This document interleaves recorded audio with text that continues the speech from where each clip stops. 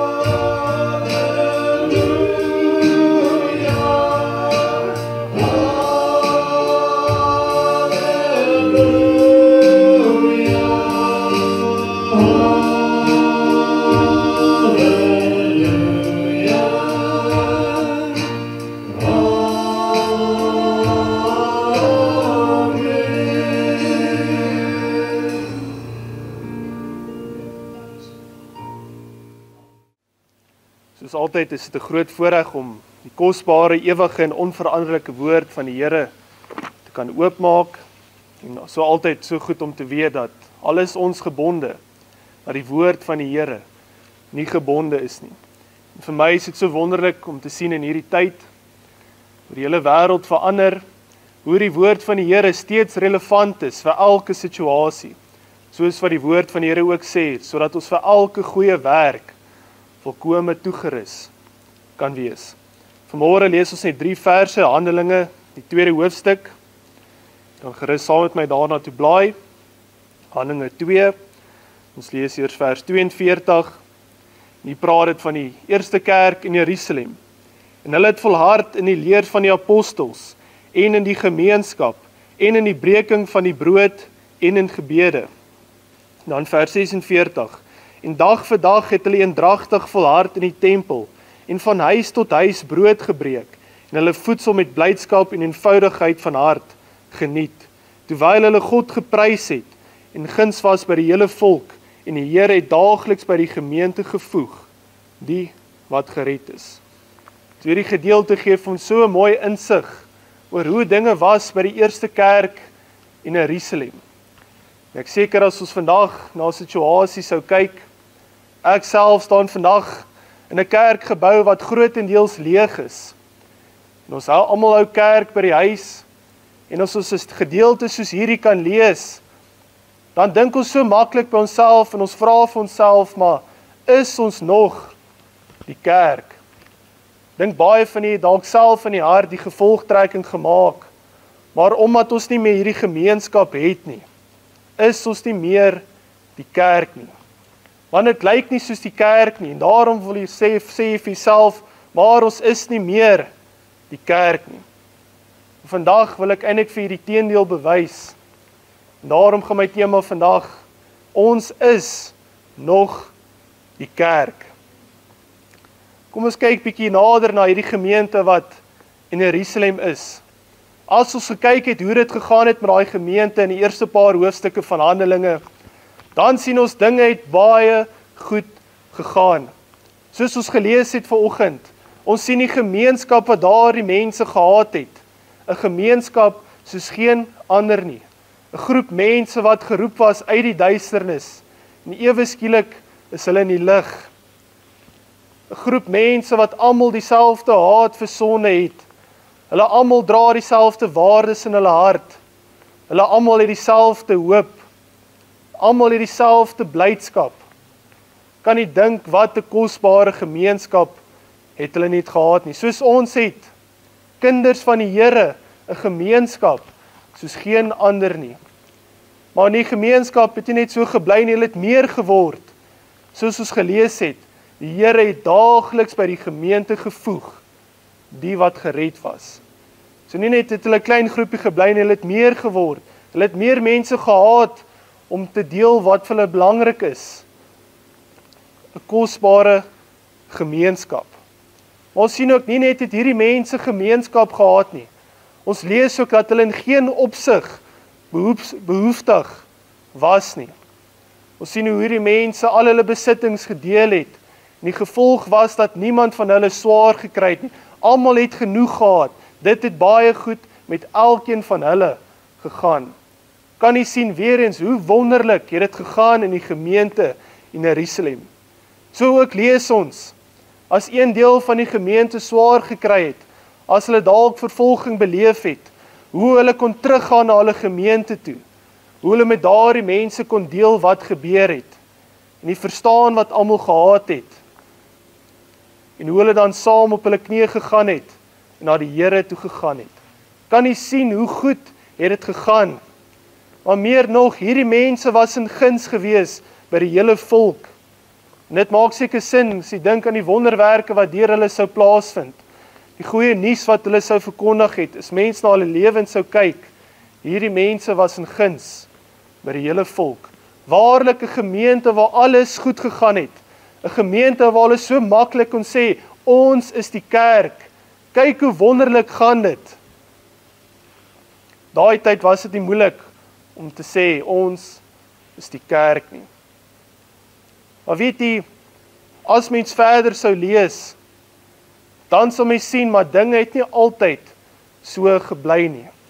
Maar iets het gebeur wat maak dat al hierdie dinge nie meer daar was nie. Hierdie gemeenskap en al hierdie dinge wat hulle gedeel het, ewe skielik was dit daar nie meer nie.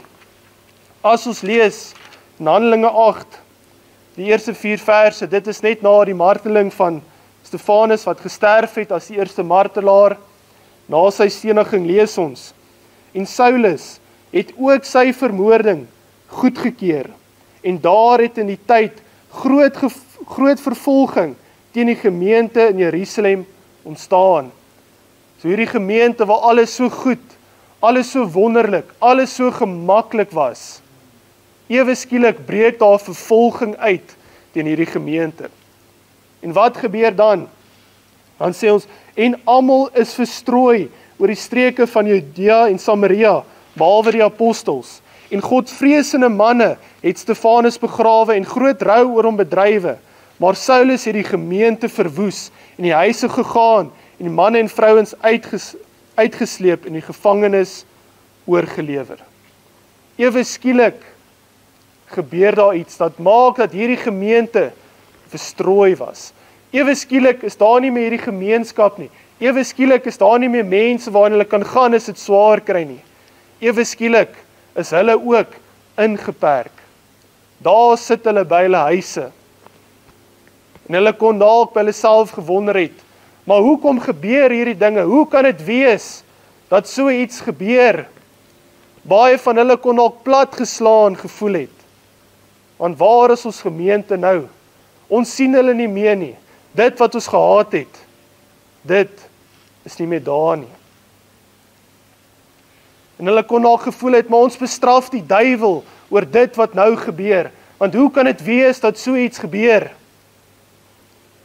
Dit kon dalk gedink het maar die gemeente is verby. En daar kon hulle so maklik sê ons is nie meer die kerk nie. Maar weet jy die waarheid van die saak is al was hulle daar in verstrooiing al het hulle nie meer gehad wat hulle voorheen gehad het nie.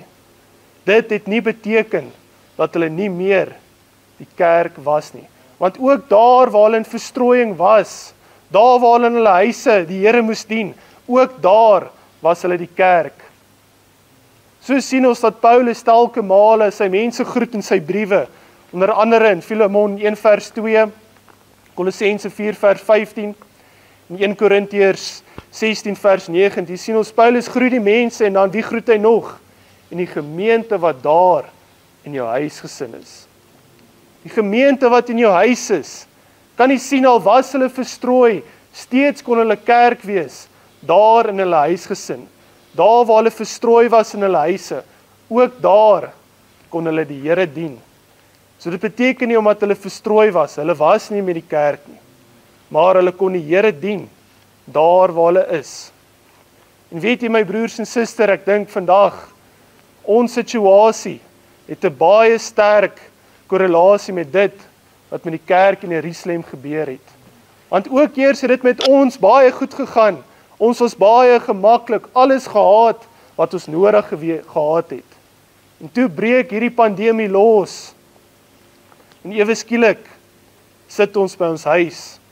Maar hoor vanmôre, ons is nog steeds die kerk. Ons is nog die kerk. Daar waar ons in ons huise sit, ook daar kan ons die Here dien. Ons as gesin kan saam op ons knieë gaan. As iets ons pla, kan ons na ons gesin toe gaan met hulle praat. Dit en dit het gebeur. Ons kan ons hartseer met hulle deel. En saam met ons gesin kan ons op ons knieë gaan en na die Here toe gaan. As ons iets wonderlik lees in die woord, ook dit kan ons met hulle deel. En saam die Here daarvoor dank. En daar seker nog telke baie male ons die Here by ons huise kan dien. Maar die punt van die saak is daar waar ons verstrooi is, daar waar ons by ons huise is, ook daar is ons nog steeds die kerk. Ons is nog die kerk. Maar weet jy die goeie nuus van môre is as ons kyk wat met die kerk in Jerusalem gebeur het. Weet jy dinge het nie vir altyd so gebly nie. Hulle was nie vir altyd in hulle huise die kerk gewees nie. Ek glo ek so voel ek ook, ons moet nie gemaklik raak in die situasie waar ons nou geplaas is nie. Maar later in die Bybel sien ons byvoorbeeld as Johannes skryf in die boek Openbaring, Openbaring 1 vers 4, aan wie skryf hy? Aan die sewe gemeentes wat in Asië is. Ewe skielik skryf hy nie meer aan kerke wat in hulle huise is nie, maar daar word geskryf aan groot gemeentes En so staan telke voorbeelde waar daar geskryf is aan groot gemeentes. Kan jy sien daardie tyd wat die kerk verstrooi was. Dit was 'n noodsaaklike tyd gewees. Dalk is dit nie daar verwas is dat die kerk net in Jerusalem gebly het. Maar die Here het daardie tydperk van verstrooiing gebruik vir sy eie voordeel.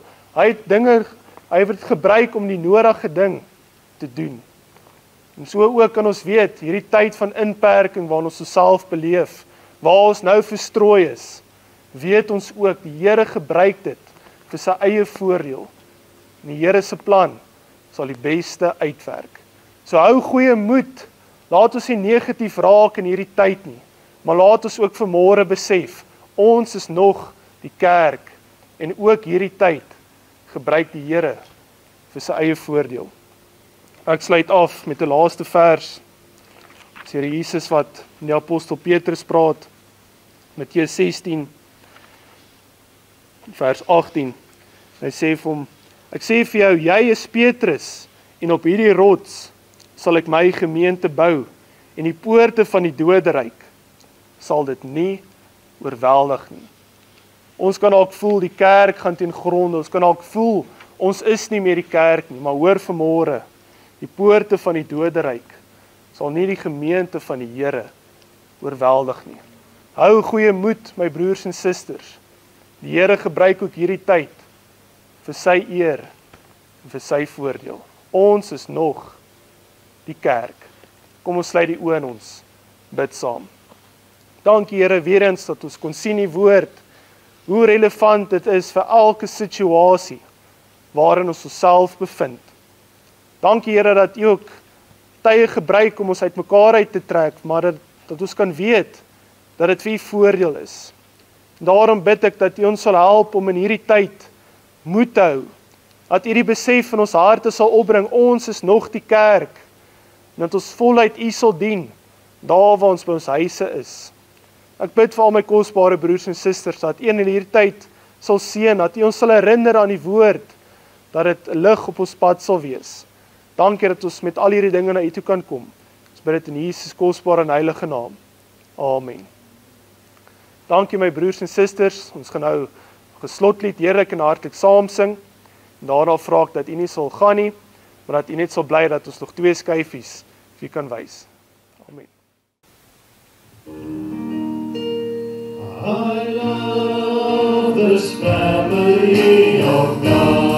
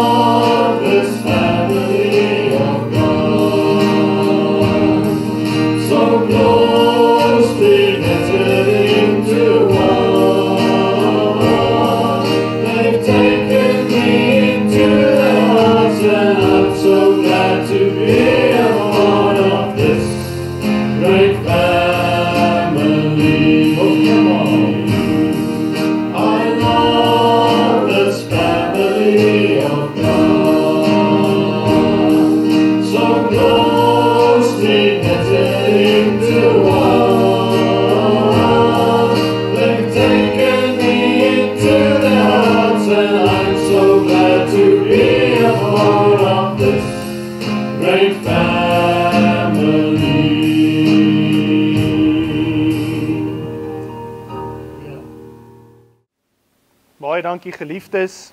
Soos altyd verwelkom ons enige terugvoer. Ons hoor so graag van u.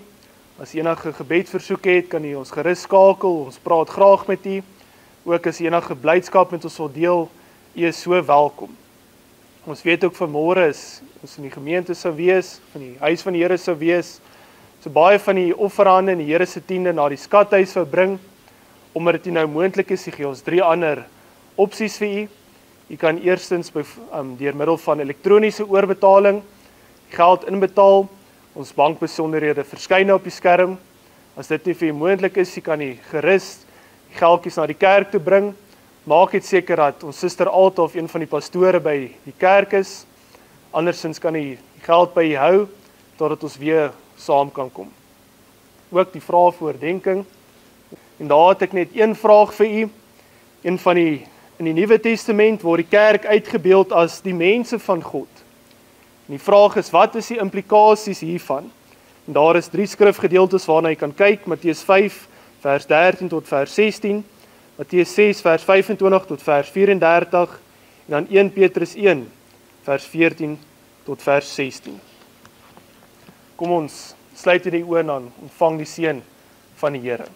Nou bid ons dat die groot liefde van God ons Vader, groot genade van ons Here Jesus Christus en die troostvolle gemeenskap met U sal wees tot ons Here Jesus Christus kom.